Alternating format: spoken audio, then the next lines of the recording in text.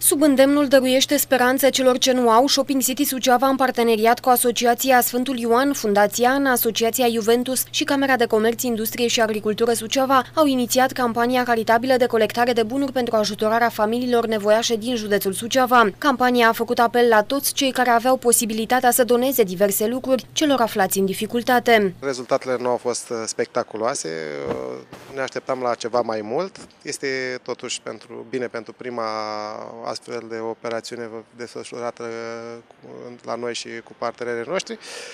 Sperăm la următoarele să, să fie mai bine. În prima etapă vor fi sortate, uh, se vor pune pe mărim și în funcție de necesitățile familiilor care sunt în baza de date ale Fundației uh, Sfântul Ioan și Fundația Ana, vor fi distribuite uh, astfel încât să fie utile. Așa cum era de așteptat, au răspuns acestui apel tot oamenii simpli din clasa medie, care știu ce înseamnă să ai nevoie de ajutor.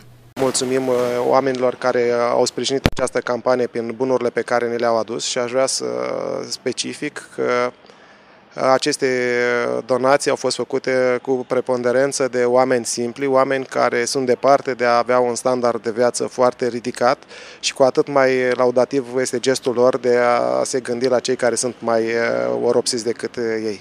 Mircea Petrariu a menționat că pe lângă bunurile colectate în cortul din parcarea hipermarketului mai sunt de adunat câteva obiecte de mobilier donate de suceveni care nu au avut un mijloc de transport pentru a le aduce la centrul de colectare.